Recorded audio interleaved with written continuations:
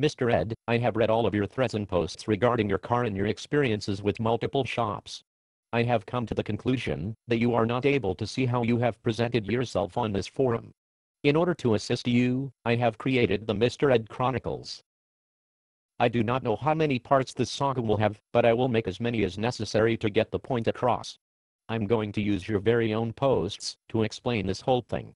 I will however correct your inability to write or spell so that everyone can understand what the fuck you are saying. That will be the hardest part of this movie. Mr. Edd, look at me. Look at me real close and read my lips. You are the biggest fucktard that has ever been on this site. You are too fucking stupid to realize that the common problem among all these shops is you. There is nothing wrong with all these shops that have been in business for years. You are the problem jackass. You are too fucking stupid to understand that performance motors take a long time to build properly and cost a lot of money to build properly. And newsflash dumbass they break too. Especially when you are trying to build a motor with Craigslist parts. You dumb, dick motherfucker.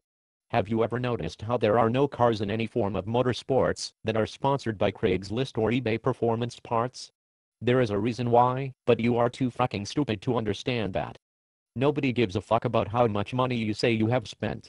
If you actually did spend the money that you claim to have spent, you are only further proving my point that you are a retarded dumb fuck who thinks that throwing money at a problem will fix it. One more thing, before we get going. Mr. Edd, you are an arrogant, ignorant, self-serving, illiterate crybitch. Fuck you. If this movie infuriated you, too fucking bad.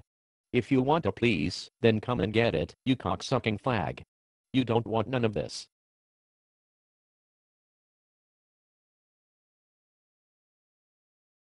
This concludes the introduction to the Mr. Edd Chronicles. Part 1 will be coming soon.